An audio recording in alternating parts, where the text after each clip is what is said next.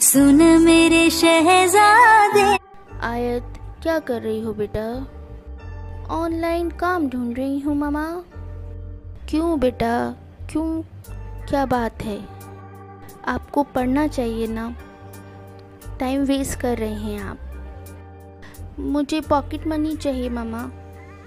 अगर पापा से कहूँगी तो पापा कहेंगे, फालतू खर्चा करना है और कुछ नहीं है।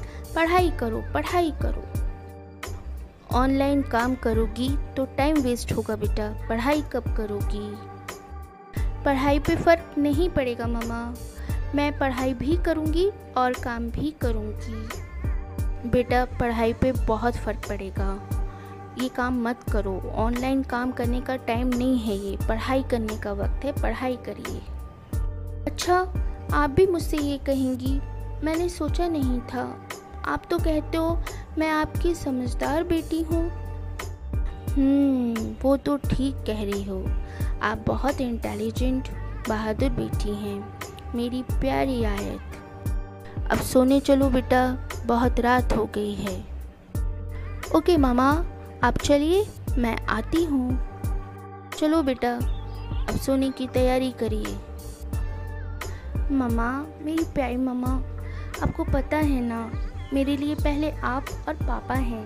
मैं अपनी पढ़ाई में डिस्टरबेंस नहीं होने दूँगी। पक्का प्रॉमिस मामा। मेरी प्यारी बच्ची, आपको क्या ज़रूरत है पैसों की, आप हमें बताओ। मामा, आपको बता दूँ, पापा को पता चलेगा तो वो बहुत गुस्सा करेंगे। हंड्रेड टेन परसेंट गुस्सा करेंगे। उनको सारे खर्चे फजूल लगते हैं, मामा। मुझे ज़रूरत है। एक्चुअली मामा मुझे मोबाइल लेना है। मुझे मोबाइल की ज़रूरत है। मेरे सारे फ्रेंड्स मोबाइल पे पढ़ लेते हैं। मैं नहीं पढ़ पाती हूँ। और क्लास में सब बहुत अच्छे आंसर्स देते हैं। मैं नहीं दे पाती हूँ। सब बहुत अच्छा प्रेजेंटेशन बना के लाते हैं। इस कॉलेज में टाइम भी वेस्ट नहीं होता। सब लोग अपना क्लास के बाद मोबाइल पे पढ़ लेते हैं, मामा। अगर मैं ये बात पापा से कहूँगी तो वो कभी नहीं मानेंगे। कहेंगे, टाइम वेस्ट करना है, बातें मिलानी हैं और कुछ नहीं, मामा। प्लीज़, आप तो समझो। अच्छा चलो, मैं सोचूँगी। तुम्हारे पापा से भी बात करूँगी।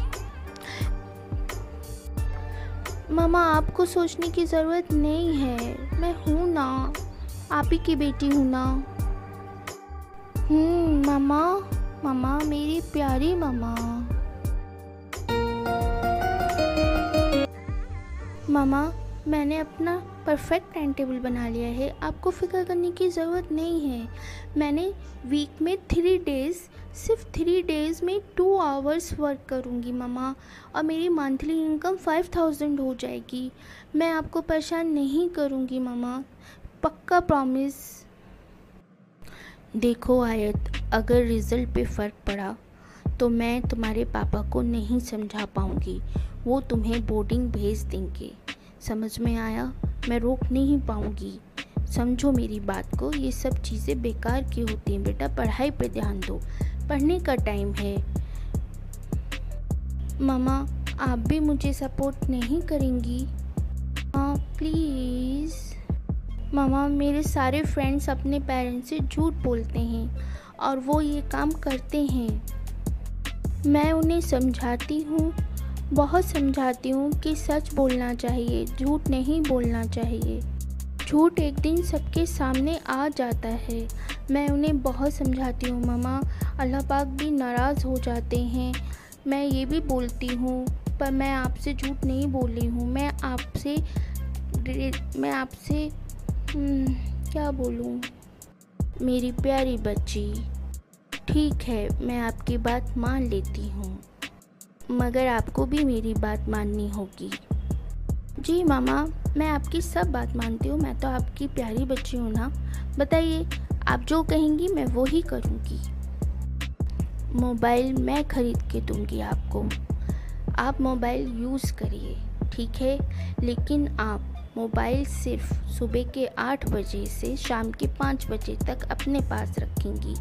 उसके बाद पाँच बजे से सुबह के आठ बजे तक आपका मोबाइल स्विच ऑफ़ रहेगा और मेरे पास रहेगा। अगर ये बात मंजूर है तो ठीक है, मैं आपको बहुत अच्छा मोबाइल ला के दूँगी।